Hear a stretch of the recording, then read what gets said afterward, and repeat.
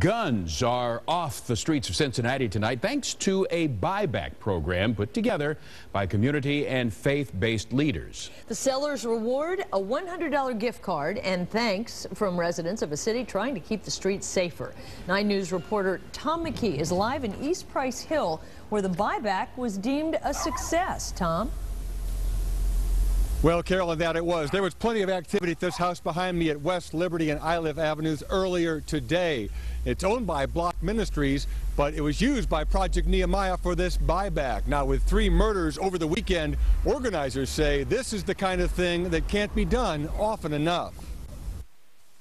Donald Thrower drove from Madisonville to East Price Hill Monday to get rid of a gun he found near a dumpster.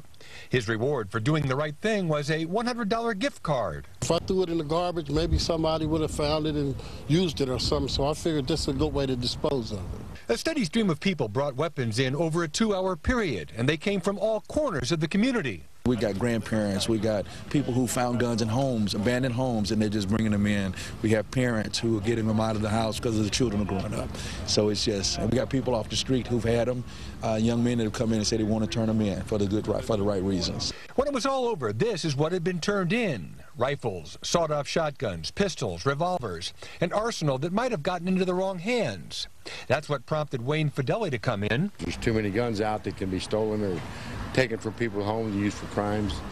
And uh, to get more and more of them off the street is a good idea.